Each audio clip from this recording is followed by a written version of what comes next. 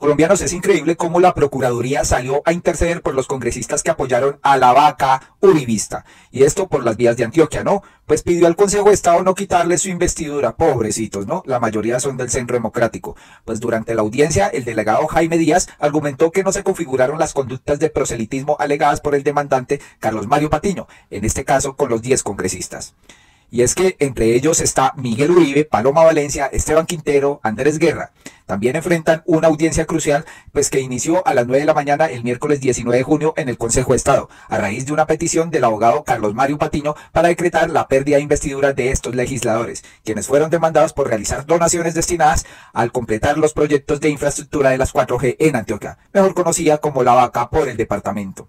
La solicitud de Patiño se basa en su argumento de que los congresistas perfeccionaron un contrato de donación con la gobernación de Antioquia, lo cual, según él, contravendería las normas legales vigentes. Sin embargo, los congresistas acusados encontraron el apoyo de la Procuradora General de la Nación, después de que el delegado del ente disciplinario, Jaime Díaz, pidiera que el Consejo de Estado no acceda a la solicitud de Patiño. Díaz argumentó que, tras examinar las pruebas, no se encontró evidencia de la conducta indicada por el demandante. Además, resaltó que la gobernación de Antioquia había comunicado que los aportes podían ser devueltos a solicitud de los donantes y que no se comprobó la existencia de un contrato de donación, como afirma Patiño. La petición del delegado despertó el malestar del demandante, quien sugirió que la postura del Ministerio Público podría atribuirse a una devolución de favores, pues varios de los congresistas señalados tendrían relación con la procuradora Margarita Cabello la Procuradora General de la Nación en favor de los congresistas. Evidentemente, el delegado de la doctora Cabello no podría actuar en contra de los intereses de los congresistas que, entre otras cosas, eligieron a la Procuradora. ¿Será que les están devolviendo el favorcito? Increíble, señores. De momento, la diligencia continuó su curso con los alegados de los 10 congresistas, mientras que el Consejo de Estado analiza el material probatorio proporcionado para el proceso. Además, la defensa asegura que funcionarios de la rama legislativa también poseen derechos para donar a causas colectivas, sin que esto signifique que otorgarán beneficios adicionales a los que cualquier ciudadano colombiano acceda, ¿no? Pues vamos a ver los pronunciamientos. Aquí está el informe donde el abogado que demandó la investidura de nueve congresistas y ocho de ellos del Centro Democrático y uno del Partido Liberal le pidió al Consejo Consejo de Estado reconocer sus pretensiones, argumentando que la donación que hicieron para las vías 4G en Antioquia fue un acto de proselitismo. Escuchemos. El abogado que demandó la investidura de nueve congresistas, ocho de ellos del Centro Democrático y uno liberal, le pidió al Consejo de Estado reconocer sus pretensiones, arguyendo que la donación que hicieron para las vías 4G en Antioquia fue un acto de proselitismo. Además, sostuvo que hubo una clara celebración de un contrato de donación con el Estado, y eso está prohibido.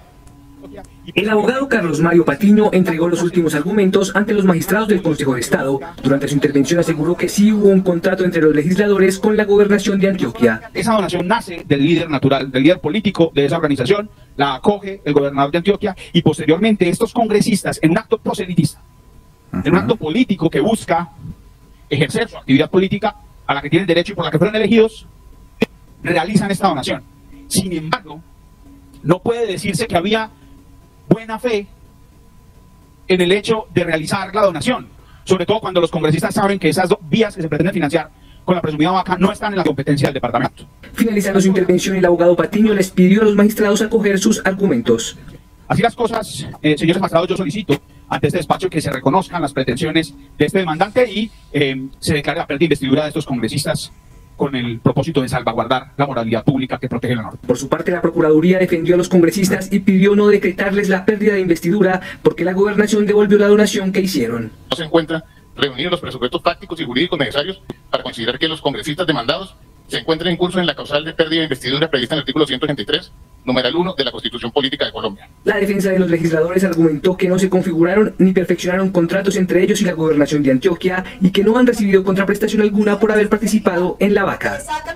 Pues claro que contraprestación van a tener estos congresistas cuando se dieron al descubierto. No, señores, aquí se cometió un delito y deberían perder la investidura, señores. Y la Procuraduría viene aquí pues a meter manos en esto y a decir que no, que les dejen la investidura, que pobrecitos, no, hágame el favor, este pues Ministerio Público sí está jodido, ¿no?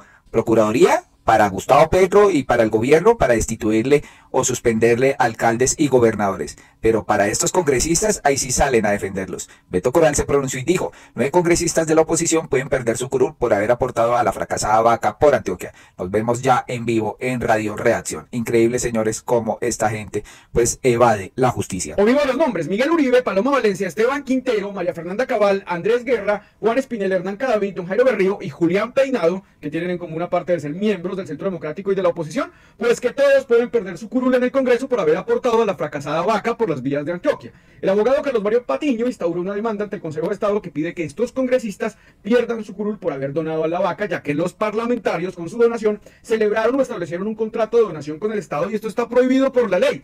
Todos en el Consejo de Estado han incurrido en defensas torpes. Algunos dicen que donaron a la vaca, pero en un nombre propio. Otros reconocen la donación, pero afirman que la gobernación de Antioquia les donó a tiempo su dinero. Y otros sostienen que no hubo una donación, sino una contribución. En fin, Vamos a hablar a las 6 pm en vivo con el abogado que instauró la acción en Radio Reacción, con René Jiménez, y también vamos a hablar de la polémica por el sombrero del señor Carlos Pizarro. No, es increíble esto que está pasando y que la Procuraduría salga en defensa.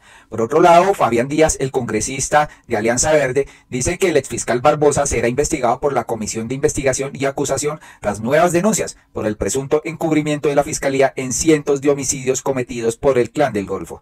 Ay, señor Barbosa, esperemos que la Comisión de Acusaciones actúe contra este exfuncionario. Tras nuestras denuncias, la Comisión de Investigación y Acusaciones decidió abrir indagación previa al exfiscal Francisco Barbosa, el mejor amigo de Duque que dejó en la fiscalía y que también pasa a la historia como el peor fiscal que hemos tenido, con los índices de impunidad más altos en relación a diferentes casos que hemos tenido en nuestro país, sobre todo casos de corrupción.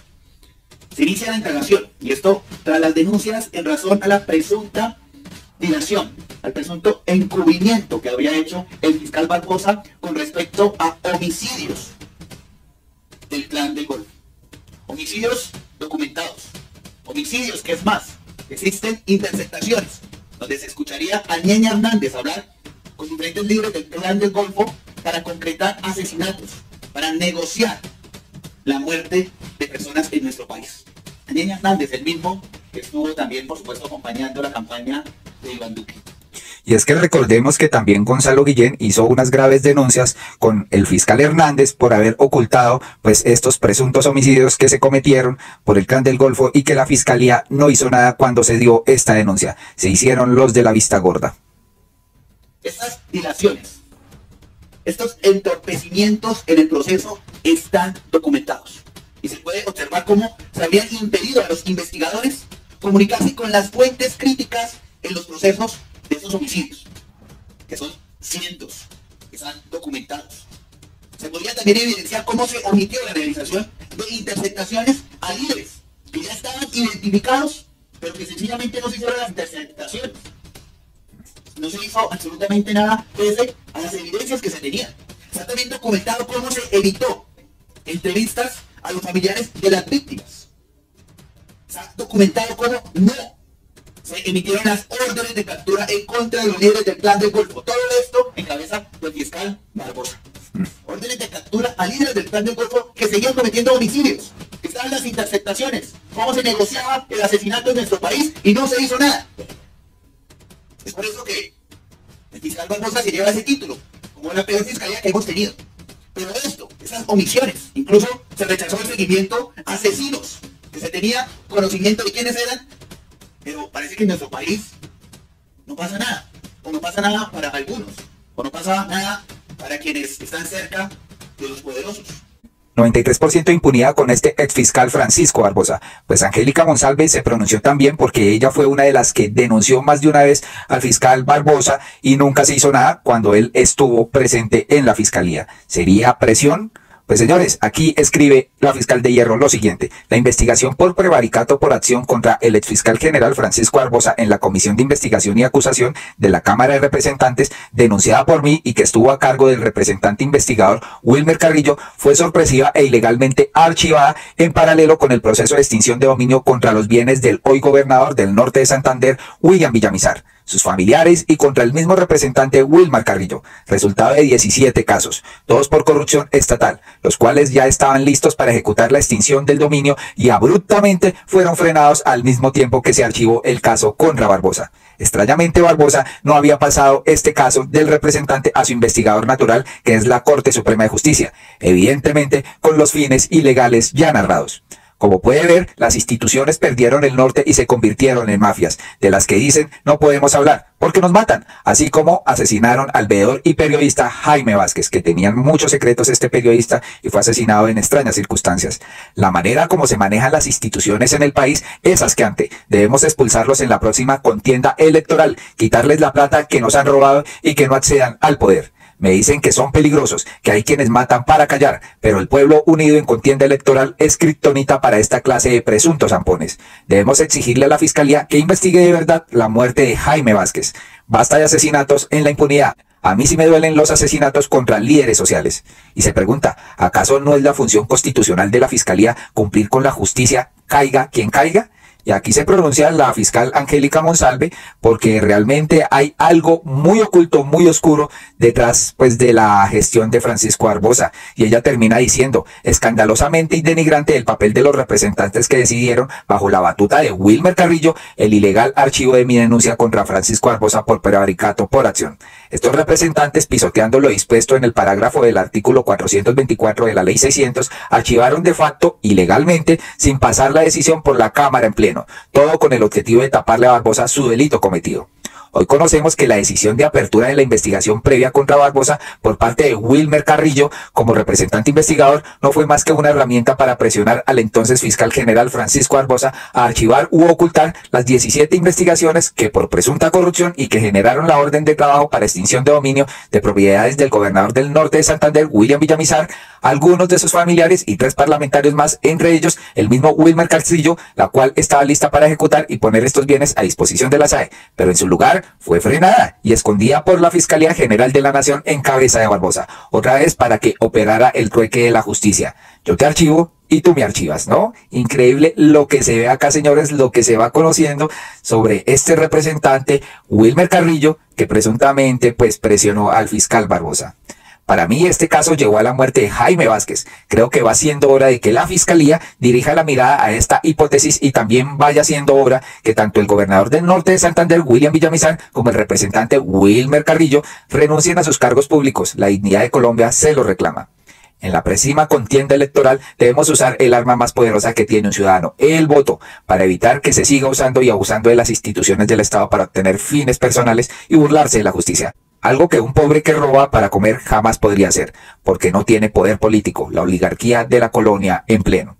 Entonces, colombianos, desen cuenta que aquí se va destapando poco a poco. Esperemos que, pues, la comisión de acusaciones, pues, entre a investigar ahora sí en forma a este señor fiscal Francisco Barbosa. Por otro lado, el periodista Pablo Iglesias de Madrid pues criticó la posición de la periodista Vicky Dávila que está utilizando el medio de Revista Semana como plataforma para lanzarse como candidata presidencial. Aquí la dejan en evidencia y des en cuenta que pone a llorar a la señora Vicky Dávila. Dice acá Pablo Iglesias, mucha gente se burlaba ante los rumores de Vicky Dávila como candidata presidencial en la extrema derecha. Lo mismo pasó con Run y Milei y ahora mucha gente se escandaliza porque utiliza Semana como plataforma política. Pero se pregunta, ¿no es lo que siempre han hecho? Escuchemos lo que dicen. Mucha gente se burlaba ante los primeros rumores de Vicky Dávila como candidata presidencial de la extrema derecha. Lo mismo pasó con Trump y con Milley. Y ahora mucha gente se escandaliza porque utiliza Semana como plataforma política. ¿Pero acaso no es lo que siempre han hecho? Los medios de comunicación siempre han sido vanguardia y retaguardia de intereses políticos, en nuestra época perversa también, del gran capital. La frase manida no deja de ser cierta. Desde que se inventó la imprenta, la libertad de prensa es la voluntad del dueño de la imprenta. ¿Por qué creen que Jaime y Gabriel Gilinski compraron Semana? Tenían bien planeada su voracidad corporativa de los próximos años. En una entrevista, Gabriel confesó su intención de convertir Semana en el Fox News colombiano, el referente de la intoxicación masiva de ultraderecha.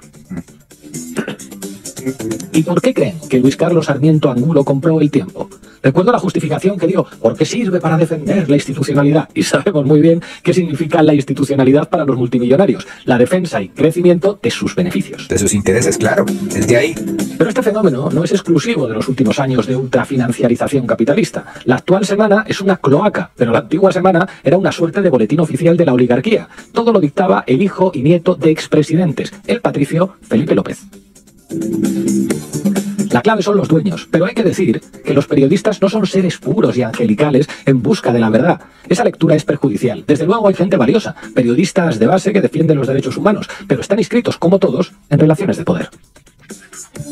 El mito del periodista como un cruzado de la información y la verdad es una patraña edulcorada. Nadie es apolítico ni acultural. Son trabajadores, responden a contextos, tienen sus ideologías y como en todos los campos, ascienden los obedientes y los cómplices del status quo.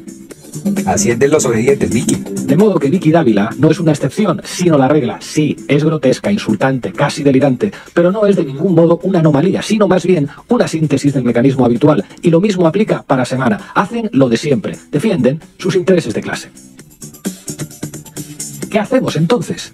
Creo que de nada sirve pedirles decencia a los mercenarios de los banqueros. De nada sirve pedirle que no mienta a quien está habituado a mentir. Necesitamos más medios y más periodistas radicalmente democráticos, es decir, periodistas al servicio de la gente común. Bueno, esto que parece escrito para España lo escribía el escritor colombiano Iván Olano Duque en la Red X hace solo unas semanas hablando de Colombia. ¿Cuánta razón tenía? Hoy en la base hablamos de política colombiana. Bienvenidas y bienvenidos la mercenaria de los banqueros, le dicen a Vicky Ávila. Pues Vicky Ávila le contestó al periodista y dijo, Pablo Iglesias, el fracasado político español de Podemos, está asustado. ¿Cómo no? Si la izquierda solo destruye. En lo que sí estamos de acuerdo es que la oligarquía enchufada tranza por sus propios intereses, así como lo ha hecho con el gobierno Petro y los congresistas vendidos. Yo defiendo es al colombiano de a pie, hágame el favor, al trabajador, al que busca un mejor futuro para sus hijos con reglas de juego claras. También defiendo el orden, la seguridad y la libertad. Eso que a la extrema izquierda tanto le incomoda. ¿Cómo no, monita? El verdadero cambio de Colombia vendrá cuando la economía se dispare y genere oportunidades para todos, cuando los lobistas de los más poderosos se queden sin trabajo porque no tendrán con quién transar. Necesitamos ser un país justo, seguro y en paz. Esta señora, mejor dicho, la catapultó semana, le paga su sueldo eh, uno de los hombres más ricos de Colombia y ya se cree, mejor dicho, la más, ¿no? La que puede ser candidata presidencial. La paz no se logra escondiendo el conflicto, sino enfrentándolo con contundencia y firmeza, no desde la debilidad como nos ha pasado en Colombia, señor Pablo Iglesias. Los criminales y bandidos manejan el territorio, los enchufados manejan a la mayoría de políticos y el resto de los colombianos, la mayoría silenciosa y trabajadora, siempre pierde. A ellos defiendo Pablo Iglesias. ¿Ustedes creen que Vicky Ávila defiende al pueblo colombiano? Yo no creo, ¿no? Pues acá en Blue Radio también dicen, Vicky Ávila no es una periodista ni es una mujer libre, como dice, es un instrumento al servicio de la oligarquía, una empleada de los banqueros.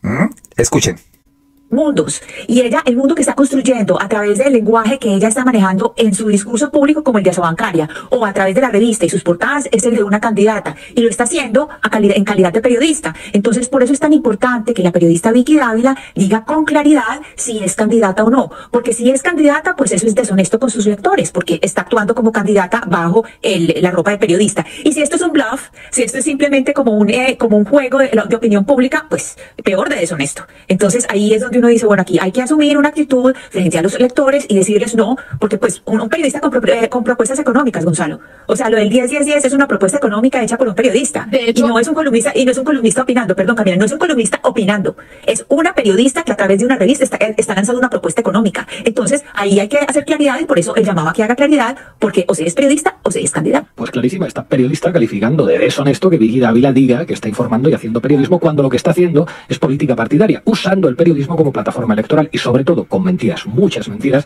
que es el verdadero problema aquí, porque la mentira no es ni periodismo ni política, es corrupción. Y más allá de eso, la clave es lo que dice al principio, es la patronal bancaria la que está impulsando a Vicky Dávila. De hecho, sus propios jefes, los Gilinski, dueños de la revista Semana, que son banqueros. No es una periodista, ni una mujer libre, como dice, es un instrumento al servicio de la oligarquía, una empleada de los banqueros, de los verdaderos poderes de Colombia, que han demostrado una y otra vez durante décadas que están dispuestos a todo, por la vía que sea, para defender sus para defender sus privilegios.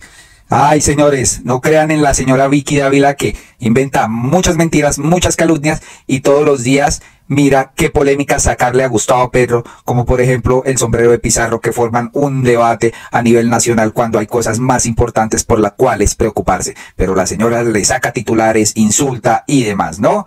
Colombianos, hasta acá este video les pedimos que lo compartan mucho para que se den cuenta la peinada que le pegó Pablo Iglesias, periodista de Madrid, a esta señora Vicky Dávila, ¿no? ¿Tienen razón o no tienen razón? Ella no es libre, señores. Ella es empleada de unos banqueros. Hay que decirlo y es la verdad, ¿no? Muy amables y hasta pronto.